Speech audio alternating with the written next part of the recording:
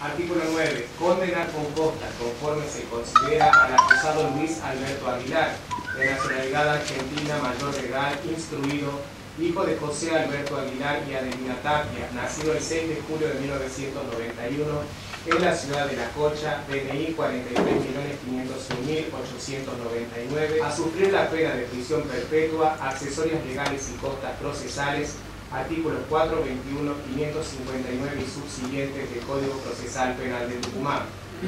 Punto décimo. Condenar con costas conforme se considera al acusado William Roger Doldan, de nacionalidad argentina, mayor de edad, instruido, de oficio artesano, hijo de Doldan Rojas Enrique y María Correa, por ser autor penalmente responsable de los hechos por los que viene acusado, ocurrido en 12 del 6 de 2011 en jurisdicción de la Comisaría de La Cocha, en perjuicio de Cecilia Gabriela Brito, calificados definitivamente como abuso sexual doblemente agravado por el acceso carnal y por ser cometido por dos personas, artículo 119, tercer párrafo y cuarto párrafo, inciso D del Código Penal, en concurso real, artículo 55 del Código Penal, con el delito de homicidio agravado por haber sido cometido para procurar la propia impunidad, artículo 80, inciso séptimo del Código Penal, a sufrir la pena de prisión perpetua, accesorias legales y costas procesales, artículos 421, 559 y subsiguientes del Código Procesal Penal de Tucumán. Punto 11.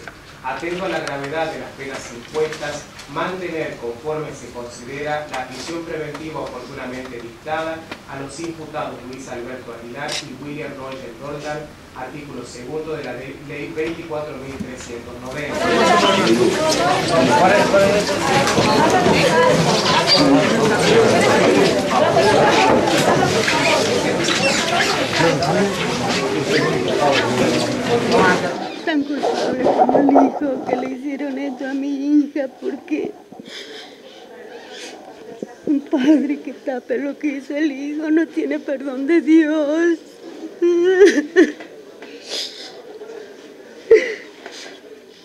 Dice Dios, solo Dios va a hacer justicia sobre esa familia porque todos ellos sabían lo que le habían hecho a mi hija.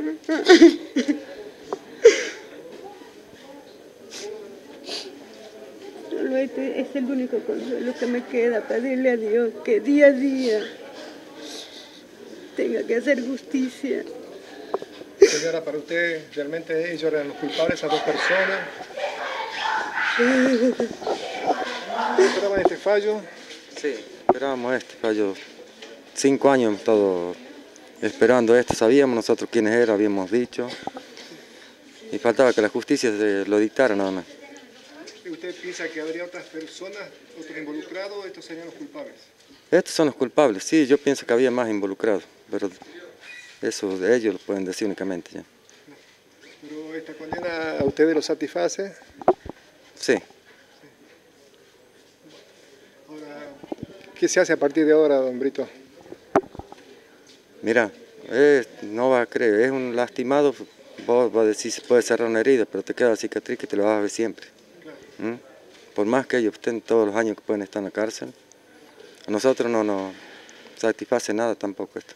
¿La tranquilidad para la familia Brito comienza hoy o continúan con su misma incertidumbre de siempre? No, la incertidumbre la vamos a tener siempre. No sé si hoy eh, iremos a estar tranquilos, no sé si vamos a poder salir también tranquilos de aquí, podemos subir al colectivo tranquilo con la gente, con la familia. Brito, ¿ustedes van a pedir alguna custodia especial? ¿Tienen custodia policial? No, no, no tenemos custodia. Ahora recién he hablado para que nos pongan a un- por lo menos unos días. ¿A quiénes temen más? ¿De qué familiares temen ustedes? A los de Doldan y Aguilar. Aguilar, padre, que salió Bueno, es, eh, estábamos- nosotros hemos trabajado justamente por la condena de los dos imputados principales. Eh, bueno, los encubridores eh, eh, son una parte también de este proceso, pero bueno, lo importante para nosotros era lograr una condena en el caso de los acusados Doldan y Aguilar. Bueno, le han, los tribunales han fallado y les han otorgado la sentencia de prisión perpetua, la condena de prisión perpetua ¿Y para ambos. otras personas? Bueno, las otras personas, la señora Griselda Calviso y los demás encubridores han quedado eh, en libertad porque el tribunal ha considerado de que hay duda con respecto a los mismos y con respecto a la señora Julia Correa, la ha absuelto lisa y llanamente Eh, y con respecto al padre del señor Luis Aguilar, resulta absuelto por una excusa absolutoria, es decir, entiende el tribunal que ha obrado en, preservación de su hijo. Por ese motivo el Código Penal establece que en esos casos no se aplica condena.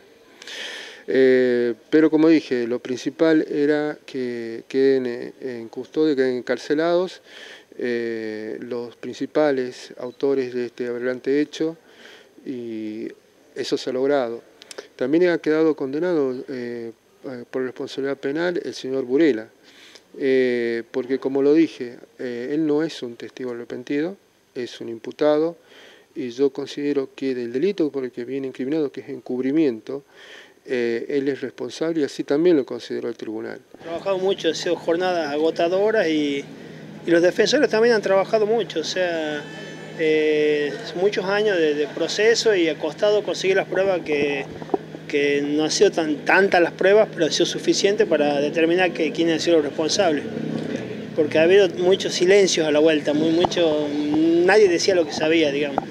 Bueno, Burela contó lo que él sabía, el Estado decía que eso ha permitido, digamos, llegar a una condena. ¿Es fundamental el testimonio de Burela para destrabar esta causa? Sí, sí, eso, eso ha sido lo más importante, porque las otras pruebas eran indicios y se han ido cerrando con el testimonio de él, digamos. Igual esto, cuando se dicte la sentencia, las partes seguramente pueden hacer casación, digamos, no es definitiva la sentencia, ¿no? todavía no está firme, digamos.